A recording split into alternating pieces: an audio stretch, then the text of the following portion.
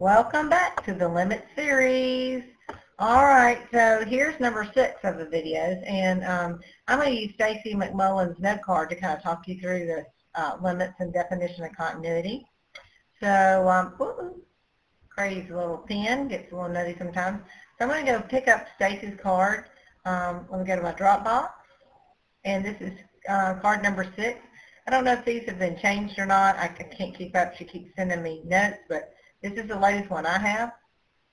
So um, she goes through and defines the continuity at C, and so that it's got to be defined, the limit has to exist, and the y value of the limit and the y value of the function have to be the same.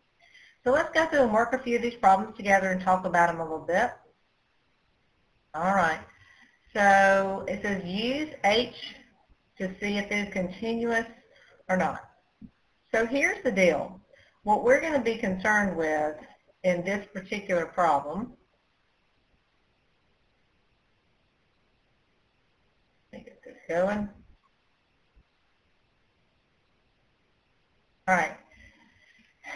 What you're really concerned with, okay, this is a line, and this is a cubic, and we know that cubics and lines are very continuous. They're nice and flowy and smooth and continuous. We like them. So this graph is breaking at negative 2. So our job is to figure out if where the line and the cubic break up, do they meet?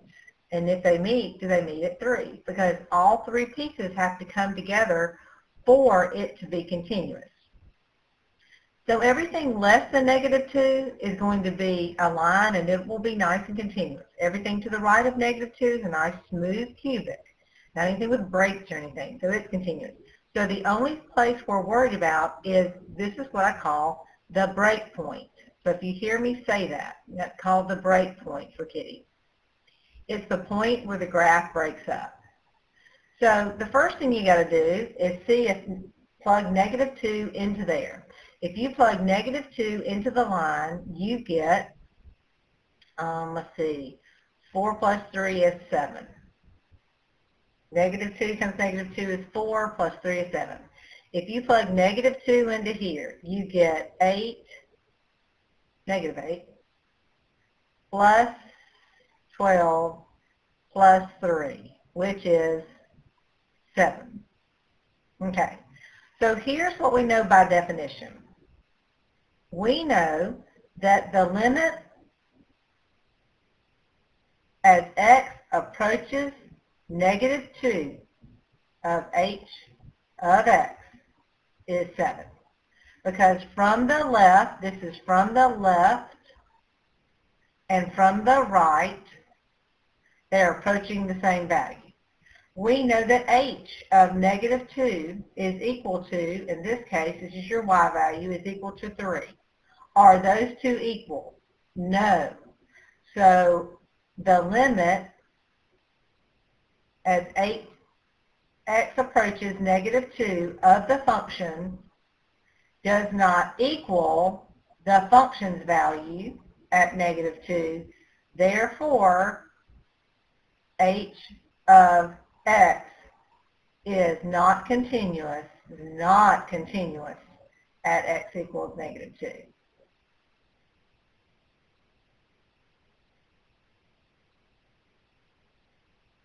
So if this would have said 7 right here, if this would have been a 7 instead of a 3, it would be continuous. So what you have is you have this line coming in, and uh, I don't know exactly what it looks like. So you have this line coming in, and there's a hole. And then this cubic is picking up this hole somehow, probably, oh, 0, 3. Somehow, and kind of going on. And then there's this random point, and this is at 7. This is happening at 7. And then there's this random point at negative 2. Like this is negative 2. That's 7. And there's this random point down here. So the line and the cubic are meeting up, but the point that they assigned at that value is not there. So that is not continuous.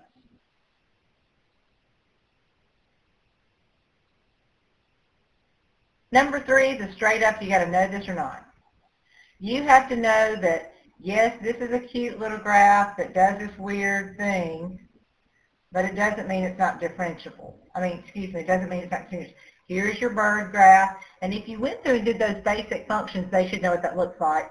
Here's e to the x. Again, if you did the basic function uh, limits, they got to uh, that. And then you have this tangent guy who's just nuts.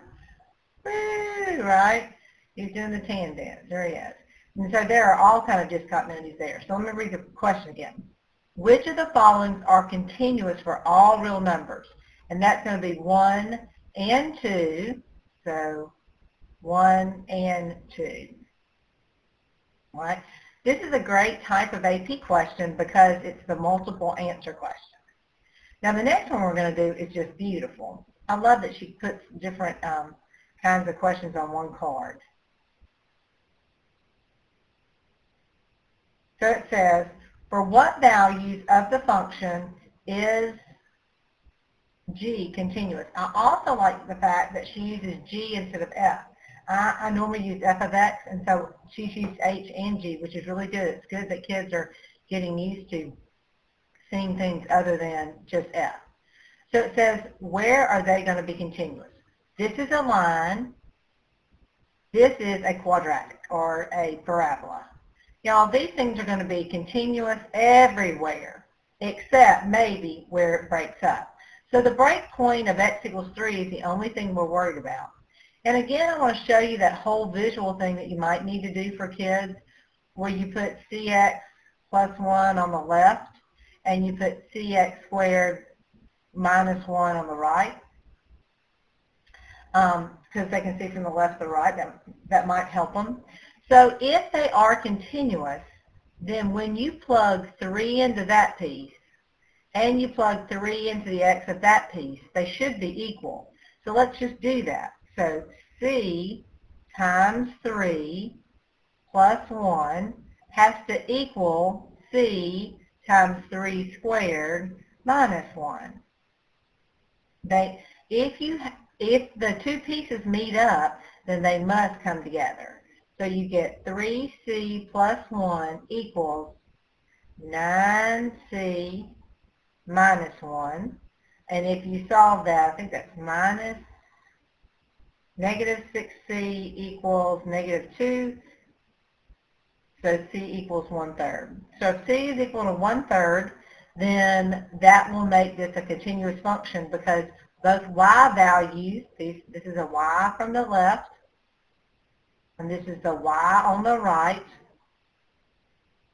will be equal at that particular x substituted in.